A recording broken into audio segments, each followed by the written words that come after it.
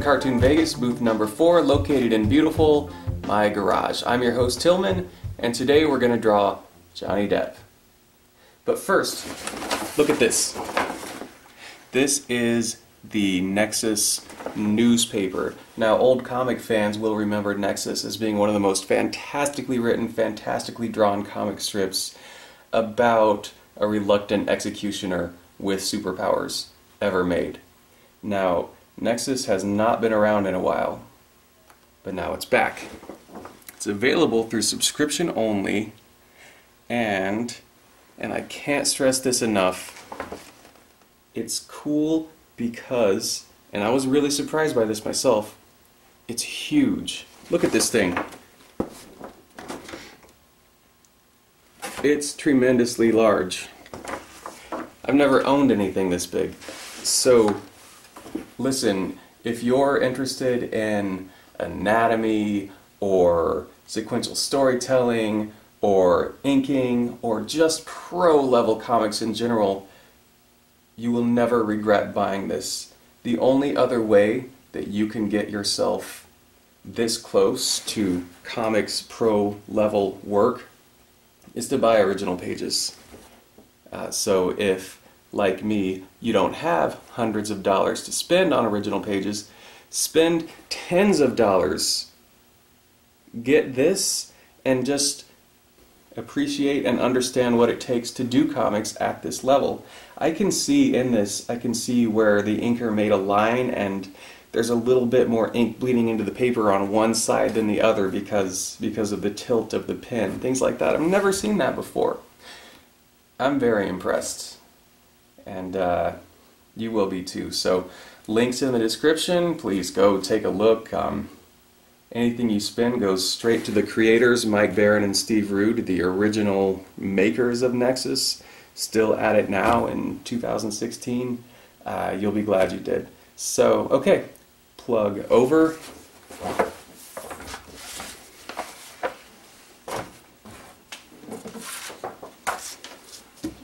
Let's draw Johnny Depp.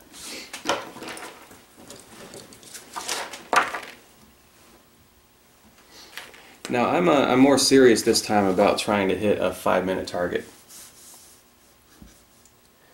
And so this, uh, this version of Johnny Depp, Captain Jack Sparrow, he's going to help me in that in a very short time I'll be able to get a likeness. Uh, hat, facial hair, makeup, easy. But he's going to hurt me in that there is a lot of detail in his costume and I would really like to get it all, but I don't think I'm going to be able to. Not in five minutes. So we're going to see if I can do the uh, very quick, mostly accurate, just barely enough details, Captain Jack Sparrow. It's going to be tough because, you know, dreadlocks, they're among the, the slowest kind of hair to draw. You know, it's harder, tight little curls, but uh, dreadlocks are still a challenge, and, and he has with this makeup, he has a pretty wide variety of hairstyles within his one hairstyle. He's got straight hair up here at the top, big fat dreads coming out here, wrapped in strings, hair with beads over here, quick sloppy beads. Some kind of popsicle stick in his hair there. I don't know what that thing is. And little tiny dreads over here, and then some of it dreads with hair coming out and becoming straight again. And then look at this, curly hair over here. It's incredible. What a ton of freaking detail in this costume.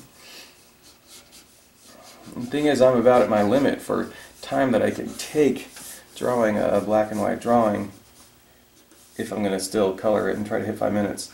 So, yeah. Gotta get that soul patch part of the beard, it's important. Alright. Signature for posterity. Now to do some really fast coloring. This see in the picture I've chosen that he has a pretty pretty standard kind of flesh-colored face in this. Now, as the movies went on, he got progressively dirtier, and I'm gonna make him pretty dirty. So I'm just using yellow and brown. Make him dirty and tan.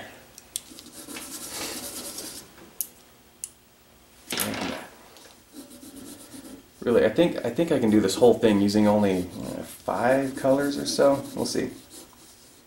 So far, I've got four in my hand,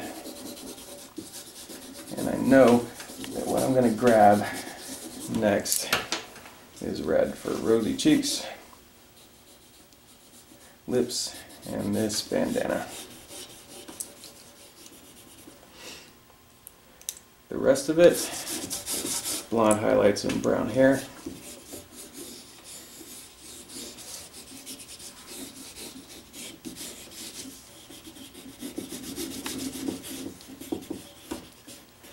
Try to leave out a little bit for highlights on the left side, like I like to do. Try not to forget anything there.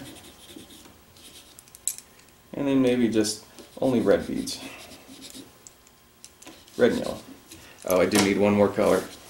Alright, it's a, it's a six color drawing.